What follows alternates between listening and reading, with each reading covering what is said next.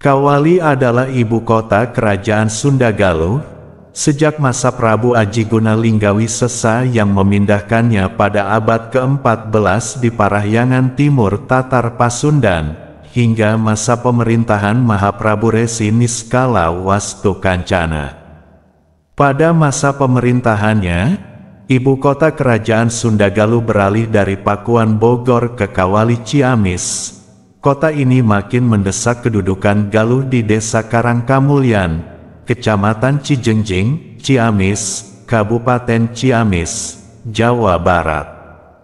Tempat pertama kali pusat pemerintahan kerajaan Galuh didirikan oleh Raja Ureti Kandayun dan Saunggalah, sekarang Kabupaten Kuningan. Lokasinya berada di tengah segitiga Galunggung, Saunggalah, dan Galuh. Saat ini secara administratif, bekas kota Kawali merupakan daerah dalam Kabupaten Ciamis. Bisa disebut bahwa tahun 1333 sampai 1482 adalah zaman Kawali dalam sejarah pemerintahan di Jawa Barat, dan mengenal lima orang raja, atau hampir satu setengah abad lebih. Telah dikemukakan bahwa keturunan Manarah yang laki-laki terputus, sehingga pada tahun 852 tahta Galuh jatuh kepada keturunan Banga, yaitu Rakeyan Wus yang beristrikan putri keturunan Galuh. Sebaliknya, adik perempuan Rakeyan Wus menikah dengan putra Galuh, yang kemudian menggantikan kedudukan iparnya sebagai Raja Sunda ke-9, dengan gelar Prabu Dharma Raksa Buana. Kehadiran orang Galuh sebagai Raja Sunda di Pakuan waktu itu belum dapat diterima secara umum, sama halnya dengan kehadiran Sanjaya dan Tamperan sebagai orang Sunda di Galuh. Prabu Dharma Raksa dibunuh oleh seorang menteri Sunda yang fanatik. Karena peristiwa itu, tiap raja Sunda yang baru selalu memperhitungkan tempat kedudukan yang akan dipilihnya menjadi pusat pemerintahan. Dengan demikian pusat pemerintahan itu berpindah-pindah, dari barat ke timur dan sebaliknya. Antara tahun 895 sampai tahun 1311 kawasan Jawa Barat diramaikan sewaktu-waktu oleh iring-iringan rombongan Raja Baru yang pindah tempat. Ayah Sri Jaya Bupati berkedudukan di Galuh, Sri Jaya Bupati di Pakuan, tetapi putranya berkedudukan di Galuh lagi. Dua raja berikutnya, Raja Sunda ke-22 dan ke-23 memerintah di Pakuan. Raja ke-24 memerintah di Galuh, dan Raja ke-25 yaitu Prabu Guru Dharma Siksa, mula-mula berkedudukan di Saunggalah kemudian pindah ke Pakuan. Putranya, Prabu Raga Suci berkedudukan di Saunggalah, dan dipusarakan di Taman Ciamis. Dalam abad ke-14, sebutan Sunda itu sudah meliputi seluruh Jawa Barat, baik dalam pengertian wilayah maupun dalam pengertian etnik. Menurut Pustaka Paratuan Ibumi Jawa Dwipa Parwa 1 Sarga 1, Nama Sunda mulai digunakan oleh Maharaja Purnawarman untuk ibu kota kerajaan Tarumanagara yang baru didirikannya, bernama Sundapura. Idealisme kenegaraan memang terpaut di dalamnya, karena Sundapura mengandung arti kota suci atau kota murni, sedangkan Galuh berarti permata atau batu mulia, secara kiasan berarti gadis. Proses kepindahan seperti ini memang merepotkan menurut pandangan kita, namun, pengaruh positifnya jelas sekali dalam hal pemantapan etnik di Jawa Barat. Antara Galuh dengan Sunda memang terdapat kelainan dalam hal tradisi. Anwas Adiwijaya mengungkapkan bahwa orang Galuh itu orang air, sedang orang Sunda orang gunung. Yang satu memiliki mitos buaya, yang lain mitos harimau. Di daerah Ciamis dan Tasikmalaya masih ada beberapa tempat yang bernama Panereban, tempat yang bernama demikian pada masa silam merupakan tempat melabuhkan mayat, karena menurut tradisi galuh mayat harus dilarung, dihanyutkan di sungai. Sebaliknya, orang Kanekes yang masih menyimpan banyak sekali sisa-sisa tradisi Sunda, mengubur mayat dalam tanah.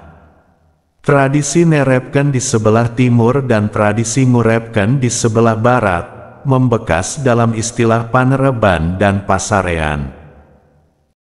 Peristiwa sejarah telah meleburkan kedua kelompok subetnik ini menjadi satu, orang air dengan orang gunung itu menjadi akrab dan berbaur, seperti dilambangkan oleh dongeng Sakadang Kuyajeng Sakadang Monyet, seekor kura-kura dan seekor monyet. Dongeng yang khas Sunda ini sangat mendalam dan meluas dalam segala lapisan masyarakat, padahal mereka tahu bahwa dalam kenyataan sehari-hari monyet dan kuya itu bertemu saja mungkin tidak pernah, di kebun binatang pun tidak pernah diperkenalkan. Subang Larang merupakan keluaran pesantren Pondok Kuro di Pura, Karawang. Ia seorang wanita muslim murid Syekh Hasanuddin, atau lebih dikenal sebagai Syekh Kura, yang menganut mazhab Hanafi. Pesantren Kura di Karawang didirikan olehnya pada tahun 1416 dalam masa pemerintahan Niskala Wastu Kancana. Pesantren ini merupakan pesantren tertua di Jawa Barat. Subang Larang belajar di situ selama dua tahun. Ia merupakan nenek dari Syarif Hidayatullah. Kemudian Jayadewata memperistri Kentring Manik Mayang Sunda, putri Prabu Susuk Tunggal, jadilah antara Raja Sunda di Pakuan Bogor dan Raja Galuh di Kawali yang saya ini, menjadi besan. Untuk seterusnya, putra Dewa Niskala bernama Sri Baduga Maharaja, menyatukan kedua kerajaan Sunda dan Galuh, lalu menjadikan Pakuan Pajajaran Bogor sebagai pusat pemerintahan. Dengan tindakan ini, berakhirlah peran Kawali sebagai salah satu kota penting pusat pemerintahan di Tatar Pasundan saat itu. Selanjutnya yang bertahta di Kawali adalah Prabu Ningratwangi, lamanya 19 tahun. Sebagai Raja Wilayah Galuh dan terakhir Prabu Jayaningrat, pada tahun 1423 sampai 1450 saka lamanya dua tahun, sebagai Ratu Wilayah Galuh terakhir karena Kerajaan Galuh ditaklukkan oleh Kesultanan Cirebon. Semenjak waktu itu, Kerajaan Galuh dan kerajaan-kerajaan kecil lainnya berada di bawah kekuasaan Cirebon yang diperintah oleh Susuhunan Jati. Saat ini, nama Kawali digunakan pada Desa Kawali dan Kecamatan Kawali di Kabupaten Ciamis. Prasasti Astana Gede atau prasasti Kawali, merujuk pada beberapa prasasti yang ditemukan di kawasan Kabuyutan Kawali, Kabupaten Ciamis, Jawa Barat. Berdasarkan perbandingan dengan peninggalan sejarah lainnya, seperti naskah carita Parahyangan dan pustaka Racia-Racia Ibu Nusantara, dapat disimpulkan bahwa prasasti Kawali satu ini merupakan sakakala, atau tugu peringatan untuk mengenang kejayaan Prabu Niskala Wastu Kancana, penguasa Sunda Galuh yang bertahta di Kawali, putra Prabu Linggabuana yang gugur di Bubat. Teks di bagian muka, Nihan tapa kawalinu sang hyang mulia tapa bagia parebu raja wastu mangadek di kuta kawalinu mahayuna kadatuan, Surawi sesanu marigi sakuliling dayeh, nunajur sakala desa aja manu panderi pakena gawe ring hayu paken hebel jaya dina buana. Teks di bagian tepi tebal, hayua diponah-ponah, hayua dicauh-cauh, inya neker inya anggar, inya ninicak inya rempak. Alih bahasa teks di bagian muka, inilah jejak tapak dikawali dari tapa dia yang mulia Prabu Raja Wastu yang mendirikan pertahanan bertahta di Kawali, yang telah memperindah kedaton Surawi Sesa, yang membuat parit pertahanan di sekeliling wilayah kerajaan, yang memakmurkan seluruh pemukiman. Kepada yang akan datang, hendaknya menerapkan keselamatan sebagai landasan kemenangan hidup di dunia.